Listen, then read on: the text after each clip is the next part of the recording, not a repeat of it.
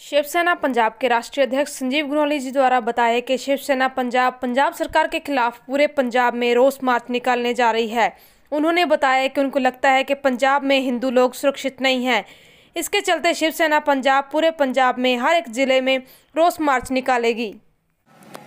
शिवसेना पंजाब वालों पंजाब सरकार, पंजाब पुलिस के खिलाफ पूरे पंजाब के रोष मार्च ਇੱਕ ਕੱਢਣ ਜਾ ਰਹੇ ਹਾਂ, ਕਿਉਂਕਿ ਪੰਜਾਬ ਦੇ ਵਿੱਚ ਦਿਨ ਪ੍ਰਤੀ ਦਿਨ ਹਿੰਦੂਆਂ ਤੇ ਹੋ ਰਹੇ ਹਮਲੇ।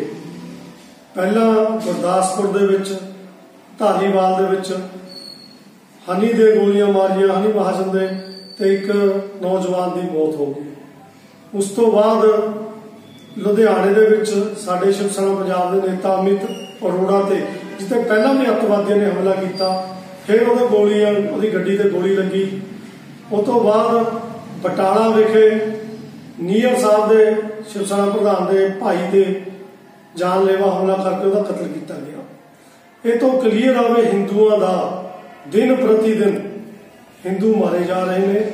ਪੰਜਾਬ ਸਰਕਾਰ, ਪੰਜਾਬ ਪੁਲਿਸ ਇੰਟੈਲੀਜੈਂਟ ਵਿੰਗ ਬਿਲਕੁਲ ਸਾਇਲੈਂਟ ਚੁੱਪ ਬੈਠਾ ਹੈ। ਬੜੇ ਦੁੱਖ ਦੀ ਗੱਲ ਹੈ ਕਿ 10 ਦਿਨ ਬੀਤਣ ਦੇ ਬਾਵਜੂਦ ਹੁਣ ਤੱਕ ਉਹਨਾਂ ਨੂੰ ਕੋਈ ਸੁਰਾਗ ਨਹੀਂ ਮਿਲਿਆ, ਹੁਣ ਤੱਕ ਇਹ ਨਹੀਂ ਕਲੀਅਰ ਹੋਇਆ ਵੀ ਇਹ ਵਾਰਦਾਤਾਂ, ਕਿਸ ਸੰਗਠਨ ਵੱਲੋਂ, ਕਿਸ ਗੈਂਗਸਟਰਾਂ ਵੱਲੋਂ, ਕਿਹਨਾਂ ਵੱਲੋਂ ਕੀਤੀਆਂ ਜਾ ਰਹੀਆਂ? ਸਾਨੂੰ ਪੂਰਾ ਯਕੀਨ ਹੈ ਵੀ ਇਹ ਵਾਰਦਾਤਾਂ ਜਿਹੜੀਆਂ ਸ਼ਿਵ ਸੈਨਾ ਨੇਤਾਵਾਂ ਦੇ ਪਰਿਵਾਰ ਤੇ, ਨੇਤਾਵਾਂ ਤੇ ਜਿਹੜੇ ਹਮਲੇ ਹੋ ਰਹੇ ਨੇ, ਇਹ ਇੱਕ ਸੋਚੀ ਸਮਝੀ ਤਹਿਤ, ਸਕੀਮ ਦੇ ਤਹਿਤ ਕੀਤੇ ਜਾ ਰਹੇ ਨੇ। ਇਹ ਬਿਲਕੁਲ ਕਲੀਅਰ ਹੈ, ਇਹ ਅੱਤਵਾਦੀਆਂ ਦੇ, ਇਹ ਟੈਰਰਿਸਟਾਂ ਦੇ ਇਹ ਜਿਹੜੇ ਕੀਤੇ ਜਾ ਰਹੇ ਨੇ, ਇਹ ਹਮਲੇ ਸੋਚੀ ਸਮਝੀ ਤਹਿਤ ਕੀਤੇ ਜਾ ਰਹੇ ਨੇ।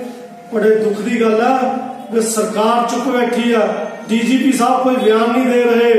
ਇੰਟੈਲੀਜੈਂਸ ਵਿੰਗ ਸੁੱਤਾ ਪਿਆ ਹੈ। ਸ਼ਿਵ ਸੈਨਾ ਪੰਜਾਬ ਨੂੰ ਮਜਬੂਰਨ ਪੰਜਾਬ ਦੇ ਹਰ ਜ਼ਿਲ੍ਹੇ ਦੇ ਵਿੱਚ ਸਰਕਾਰ ਦੇ ਖਿਲਾਫ, ਪੁਲਿਸ ਦੇ ਖਿਲਾਫ ਬੜੇ ਪੱਧਰ ਤੇ ਰੋਸ ਮੁਜ਼ਾਹਰੇ ਕੀਤੇ ਜਾਣਗੇ ਤੇ ਅਸੀਂ ਸਰਕਾਰ ਤੋਂ ਮੰਗ ਕਰਾਂਗੇ ਕਿ ਜਾਂ ਤਾਂ ਕਾਤਲਾਂ ਨੂੰ ਸਾਡੇ ਸਾਹਮਣੇ ਲਿਆਓ, ਨਹੀਂ ਕਲੀਅਰ ਕਰੋ ਕਿ ਪੰਜਾਬ ਦੇ ਵਿੱਚ ਹਿੰਦੂ ਸੇ